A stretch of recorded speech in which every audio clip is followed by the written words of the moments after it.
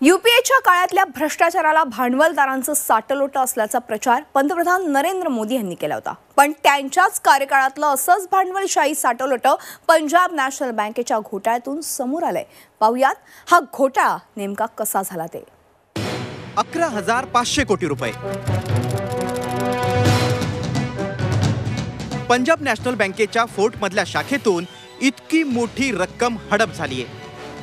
देशातले बडे हिरा व्यापारी मेहुल चोक्सी आणि नीरव मोदी या दोघांनी मिळून गेल्या सात वर्षात पंजाब नॅशनल बँकेला अक्षरशः धुवून काढलं. त्यांच्या साथीला बँकेच्या फोर्ट शाखेतला तत्कालीन उपव्यवस्थापक गोकुळनाथ शेट्टी होता. तिघांनी मिळून आपल्या हस्तकांच्या मदतीनं तब्बल सात वर्ष सारं काही सुरू ठेवलं होतं. अपहाराची पद्धत नवी नव्हती. पंजाब नॅशनल बँकेतून कसे गेले? साडे अकरा हजार कोटी. नीरव मोदी आणि मेहुल चोक्सीनं तीन कंपन्या स्थापन केल्या. Diamond R S solar export आणि स्टेलर डायमंड्स अशी या कंपन्यांची नावं.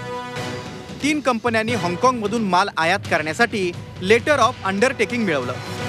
लेटर ऑफ अंडरटेकिंगच्या मदतीनं हाँगकाँगमधील अलाहाबाद बँक ॲक्सिस बँकेतून पैसे मिळवले. प्रत्यक्षात मात्र लेटर ऑफ अंडरटेकिंगसाठी आवश्यक रक्कम पंजाब नॅशनल बँकेत भरलेलीच नव्हती.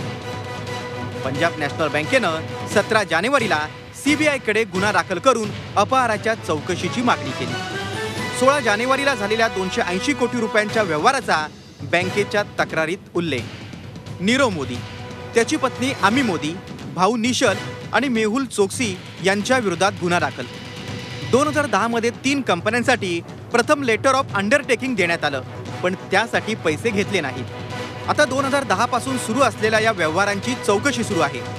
स्विफ्टनेच पैसे पाठवले आणि त्या ठिकाणी पासवर्ड जे वापरले गेले ते दोन दोन तीन तीन माणसांचे पासवर्ड म्हणजे मेकर आणि चेकरचे पासवर्ड एकाच माणसाने वापरलेले आहेत आणि हा खालच्या लेवलला म्हणजे स्केल दोनचे ऑफिसर किंवा त्याच्या खालचे लोक यांनी केलेला आहे आणि तो वरती रिपोर्ट झाला नाही.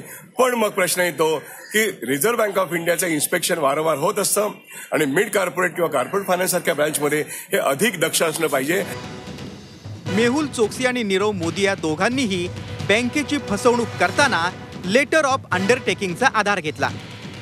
लेटर ऑफ अंडरटेकिंग म्हणजे खातेदाराच्या वतीनं पैसे चुकते करण्याची बँकेनं घेतलेली हमी.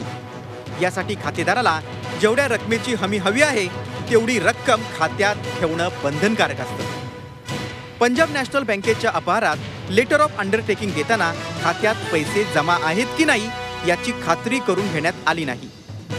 पहिलं लेटर ऑफ अंडरटेकिंग मार्च दोन हजार दहामध्ये देण्यात आलं. त्यावेळी बँकेचे उपव्यवस्थापक गोकुळनाथ शेट्टी आणि त्यांचे सहकारी मनोज खरात यांनी हे लेटर ऑफ अंडरटेकिंग दिलं. लेटर ऑफ अंडरटेकिंग जारी करताना रिझर्व्ह बँकेनं घालून दिलेल्या नियमांची सपशेल पायमल्ली केल्याचं उघड. We are the first one to detect and report this to the various law enforcement agencies. जैसे ही हमें इस घटना का पता चला हमने उसकी जांच करी। We have investigated it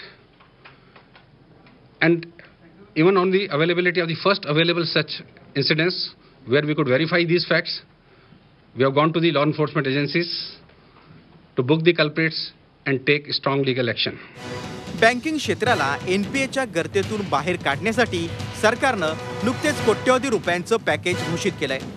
पण सात वर्ष सगळ्या तपास यंत्रणांच्या नाकाखाली टिचून सर्रास हजारो कोटींचा अपहार सुरू होता.